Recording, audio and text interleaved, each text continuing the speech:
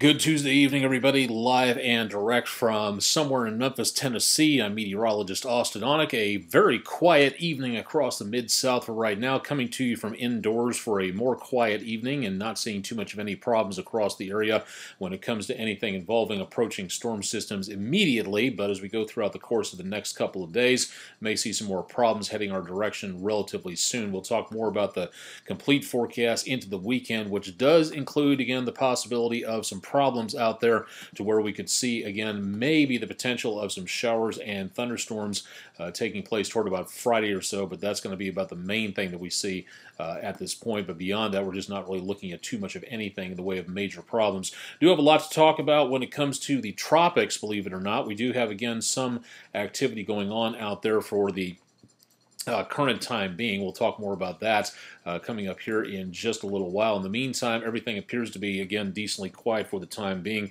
for as of right now. Let's go ahead and get our Facebook viewers into it. Again, we should be seeing a Facebook crash here uh, almost instantaneously, so we'll probably have to start back over on Facebook. Uh, doesn't look like the signal is getting through, unfortunately, so it may take a little while. But in the meantime, you got plenty to talk about here. Questions, concerns, ideas about what's going on with the forecast, all you have to do is just check out the forecast information at the blue bar located right here. Questions or anything else you'd like to send to me about what's going on here or what you would like to be able to see on this display, please let me know. All you have to do is go to the blue bar at the top right there, and again, you'll be able to get more details at austen.onek at wreg.com, and a great opportunity to learn more if you'd like to see a little bit more details about what's going on uh, in and around the Mid-South area. We'd love to have you along for the ride, so if you have any plans for uh, sticking around, would like to know more about what's coming our direction where it comes to weather, we got tons of information information out there again for the rest of the evening tonight. So not seeing too much of anything uh, in the way of major problems out across much of the Mid-South. Let's go ahead and get started and show you a little bit more about uh, what's going on into and around the area. Again, questions across much of the area for right now. Again, showing uh, little, if anything, going on on radar at this time. We have, again, less in the way of problems with rainfall immediately. We may see some more problems coming up within the near future, but just not seeing too much of anything at this point in time where it comes to anything involving uh, rainfall. Pretty dry across the entire Mid-South area and will continue to be so throughout the rest of the next couple of days. Chances of rain, yes, we will be back into the forecast again uh, into the next couple of days. So this is going to be, again, the main thing that we look at for right now. Again, much of what we're seeing at the time being is just light areas of cloud cover out across the Mid-South, and that's pretty much about it. Assuming Facebook is going to work, if not, we'll just go ahead and post this video coming up a little bit live uh, later on this evening, so stay tuned for more on that. You'll have to watch the replay on facebook.com slash austenonek, if you'd like to know more information there. Let's go ahead and take a look and see what's going on. Okay, well, let's see. There's me watching me, watching me, watching me. Let's see. There we go. Okay, now taking a look at the area from earth.nullschool.net. Very good website to take a look at for tons of information. And way up here into around parts of Canada and areas over the Arctic is where our next big pool of cold air is going to be making its way on through. I'm going to start this over again and give you a little bit of an idea as to what we're looking for for right now, uh, to where we have the jet stream again dipping way on down to the south. It's going way on down into portions of the area south of the Aleutians and into and around the area just north of Hawaii. So we're going to be seeing some very quiet conditions for now, but this is our next storm system that's going to be dislodging a lot of cold air heading our way. Now for us, we do have a bit of a dip in the jet stream ourselves taking place, that big U shape that you see right there. That's a large storm system making its way up the east coast states and again giving us another area of high pressure back to the west. That's what you see with this large dome of counter or clockwise circulating rotation. That's our high pressure area, and that's where our next warm up is coming from, but not as warm as it has been over the course of the last couple of days at least. We'll talk more about that coming up here uh, in just a little bit. Welcome to everybody who's joining us on Periscope and Twitter. Just a few seconds behind our Facebook feed for right now. Uh, Dorothy Arquette, Arquette, hope I'm saying one of those names correctly. Thank you very much uh, for joining us for the first time on here. Thanks for stopping by for the netcast. From the National Hurricane Center, we do again have uh, one area of concern down into around the area just off of Nicaragua. It has been kind of wandering on through. It's not doing all that much for right now. A couple of days ago, the National Hurricane Center gave this thing about a 0 to 10% chance of developing. And as you can see for right now, that's exactly what we have, 10% uh, for the next 48 hours. But notice down here at the bottom of your screen, we're up to about a 50% chance of something developing into the course of the next couple of days. So if this decides to get a little bit more active again and starts heading upwards into the Gulf of Mexico, this is where we could start seeing some concerns up here. Uh, so if you're heading anywhere between Brownsville to Key West, anything north of that into and around the area of the Gulf, this is going to be a system that you want to pay attention to. Yes, it is still in the Caribbean. Yes, it is still way on down to the south of us and doesn't have much of any threat of an impact for right now.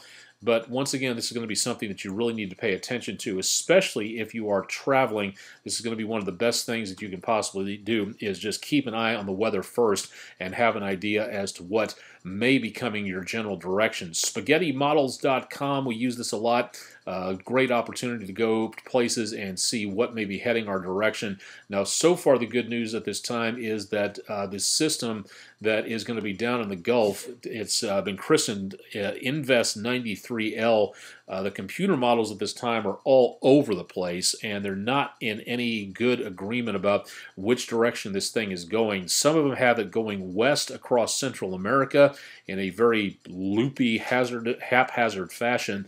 The other half on this screen have them going north and curving east, which could be a problem for the Keys, the Bahamas, central Cuba, Jamaica, into that area, but it does not look like it's heading into the area of the Mid South for right now.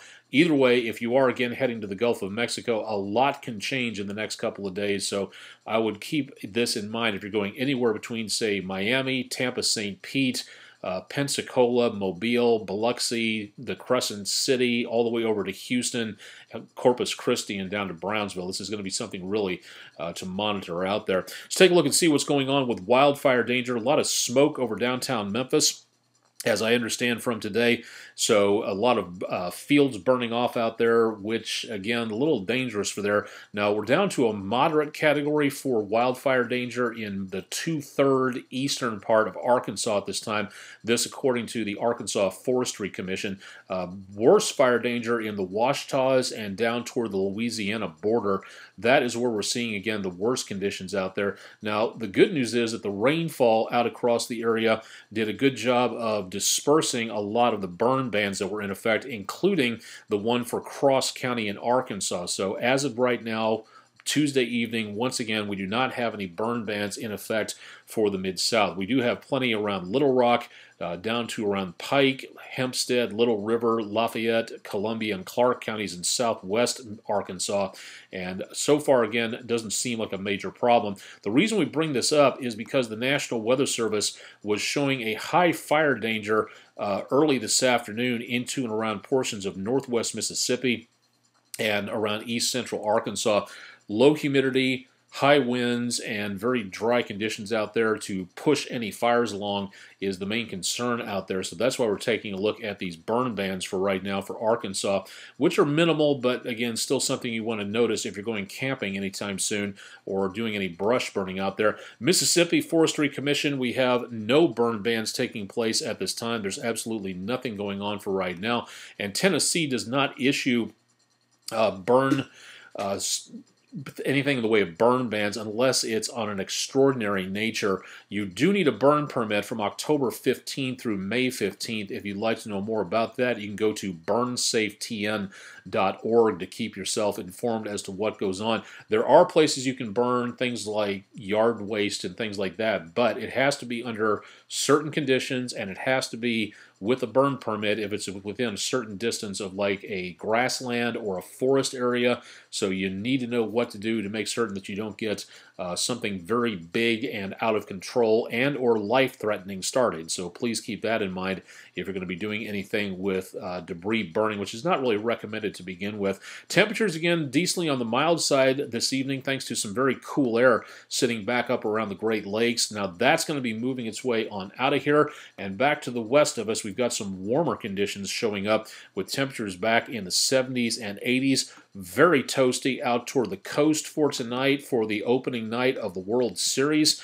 Uh, temperatures back in the high 90s in parts of LA and into and around Southern California, looking just absolutely hot out there, and not really helping out much on the humidity angle either, because with 9% humidity, 8% humidity, that just leaches the moisture right out of the grass and the trees, and that does a very good job of making certain that you get even higher fire danger, which is exactly where they don't need it. So a very warm start to the World Series out west on the west coast these days. What's going on in the next couple of days? We've got another couple of storm systems swinging very close to us. One of them just doesn't really make it at first. It kind of makes its way into the mid-Mississippi Valley, I-70, and then it just kind of falls apart, runs up against that area of high pressure, and then just kind of uh, wanders on out of the picture. Not really seeing too much there, but the next one is on its way in. This is going to be bringing us more chances of rain and maybe even a thunderstorm as we get into around Friday afternoon and evening. It doesn't look like much at this time.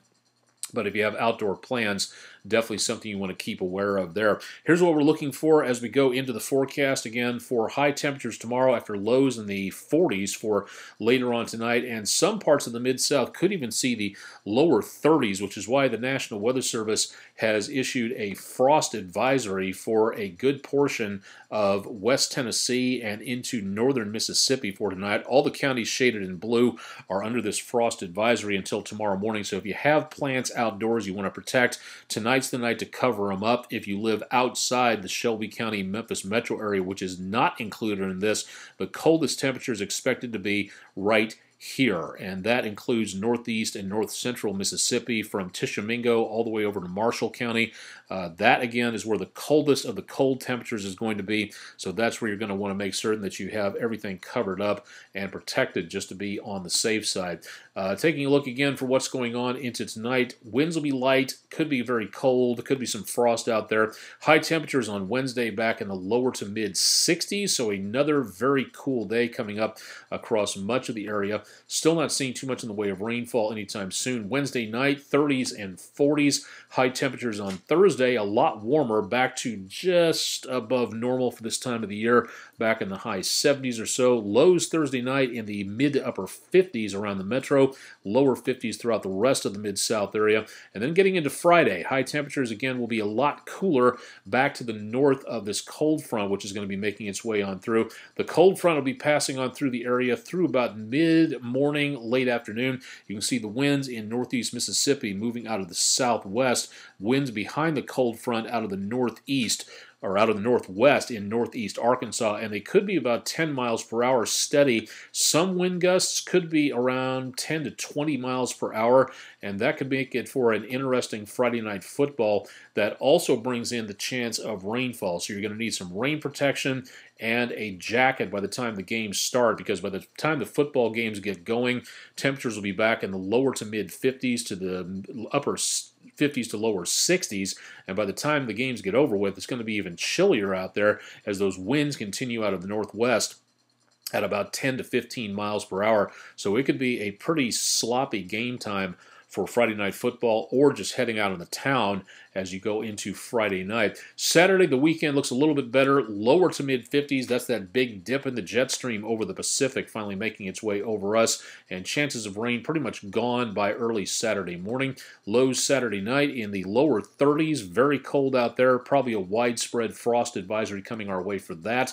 High temperatures on Sunday back in the mid upper 50s. That's high temperatures, not lows high temperatures coming up on Sunday, and then low temperatures Sunday night returning to the lower to mid 30s. So some very brisk conditions out there, and temperatures will begin about 10 degrees below normal as we head toward Monday with plenty of sunshine around first and then probably working our way back towards some rainfall in the next few days. Extended forecast, some of you have been asking about this from the Climate Prediction Center. We do not get the information uh, from the Farmer's Almanac, the Old Farmer's Almanac, the Young Farmer's Almanac, the Middle Aged Farmer's Almanac. We do not do the Farmer's Almanac when it comes to stuff like this. For the next three months, the current projections are that we are going to be seeing some above normal temperatures for the Mid South area, and that goes right on in through January.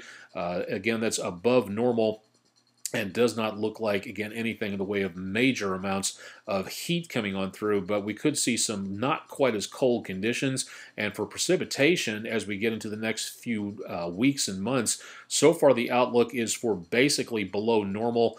Equal chances, again, roughly about normal in the white, but in the beige category, that's where we see, again, less chances of precipitation coming on through, according to this computer model run so far. This is what we're going to be uh, taking a look at in detail over the course of the next several days and weeks, so keep it tuned to News Channel 3. Or if you'd like to get this information yourself, all you have to do is go to the National Weather Service page and click on Climate for more information, and the Climate Prediction Center will have tons of information available for you there. Questions about what I do here and anything else you'd like to know, you don't know if you don't ask, so please ask away. We'd love to know more about what it is that you would like to hear uh, on here or like to see about things. So definitely want to drop me uh, that information across uh, the area. Drop by on my Facebook page. Today is United Nations Day, trying to work together to make the world a better place. And also a very nice little view. I'm going to scroll down to see if I can get there. There, as you can see, uh, what we're just talking about there on our page just a few seconds ago, our live broadcast. Uh, back into around areas of South Carolina last night, there was a pretty significant tornado. Very good radar signature on this thing.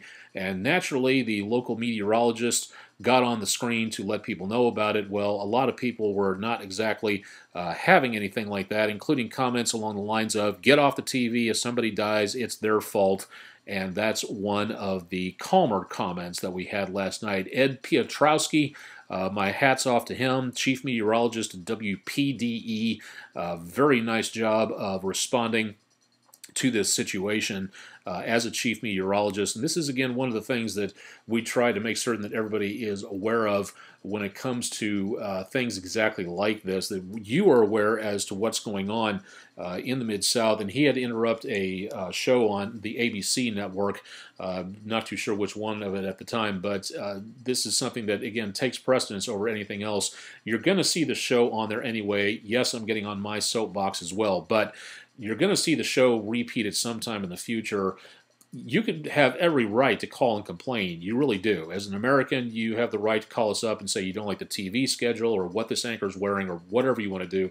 That's entirely up to you. But a lot of this vitriol that is getting spread around just because your particular situation, just because you're not being affected by this weather, is this is not the best, most tasteful or dignified or even polite, should I say it, way of going about stuff like this. Uh, this is really in poor taste to uh, really you know, kind of let it fly like that. Yeah, you have every right to complain if this is what you don't like, but just please remember that a lot of people's lives are in danger. If you don't like what, what you see, yes, you're being inconvenienced for a little bit, but it's going to pass. A lot of people whose lives are in danger would like to know where this stuff is we do our best to please everybody. We really do. We're not in this. A lot of people think that the way we figure out the way that we know how many people are watching is to do something like this, to do a severe weather broadcast, and then we count up the number of people who call in who are irate about their TV programs being interrupted. That's not the way it works. That's not the way we do things, and it's not the way we would want to do things in the first place. This is what we are trying to provide as a public service, and Mr. Piotrowski, in his uh, little soapbox here, that he did quite well and very and quite correctly as well to be able to say we're here to do this. We're trying to help save people's lives. If you don't like it, we're sorry about that. We'll do our best to make it up to you to show the program again under certain circumstances. Uh, CBS won't let us show a program if it hasn't shown a certain amount of minutes. So a lot of the decisions that go on during severe weather is not made by people like me. It is made by people like my supervisors, like Tim Simpson, the chief weather anchor at News Channel 3, and on up from there. So if there's something that you don't like, uh, some of the invective that was being slinged at Mr. Piotrowski is something that we have dealt with a lot, and we see it all the time.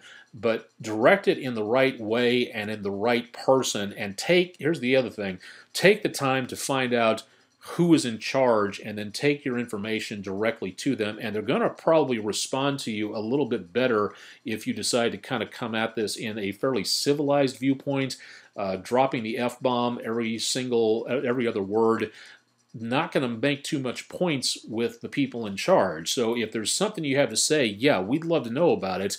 We get 90% of our stories from you, from the viewers, to people who see something happening. They call us and they say, hey, did you see about this? That's great. That's where we get a lot of our information from. And if there's, we can't exist without you, the viewer. But again, if there's something that is really angering you, like coverage over your favorite TV show due to a life threatening severe weather event, great. Have at it. Let our managers know about that. But, you know, this right here, the way that a lot of people responded to stuff like this was just not even anywhere close to being civilized or anything else. You're making a big deal out of something that is not directly affecting you at the time and we get those phone calls too a lot of the time to where we have people who maybe see under a tornado warning in Collierville. We'll get phone calls from people in and around Memphis and Millington and Atoka and West Memphis and Oxford, wherever, who are not directly affected by this thing and will say a lot of the same things that Mr. Piotrowski got via voicemail and email. So this is something that, again, it should be considered a lot more thoughtfully, if at all possible, to let us know how you feel. Great. But there's a good way and a not quite so good way to be able to do stuff like that. So read the art, read this this post right here. Mr. Piotrowski does an awesome job of responding to this. And likewise, he does not apologize for interrupting programs. Neither will I. I will not do that. I am a professional.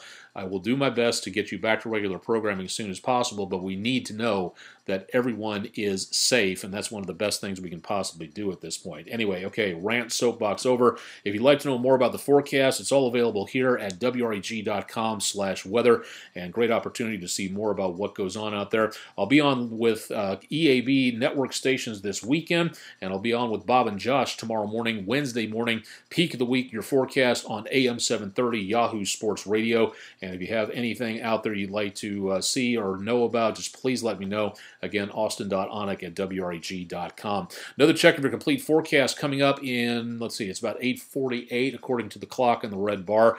Uh, Jim Jaggers will be up with your forecast coming up on News Channel 3 at 10. And of course, don't forget about Todd Demers. He'll have your complete forecast tomorrow morning, bright and early on News Channel 3 Daybreak. Thanks for joining us for an update on Periscope, Twitter, and Facebook, and more coming up with News Channel 3 on air and online.